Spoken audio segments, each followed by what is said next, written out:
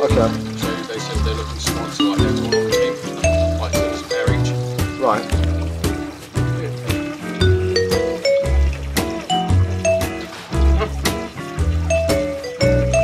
See what she's doing? What is she doing? She's scratching at them, trying to catch them for. Oh, okay.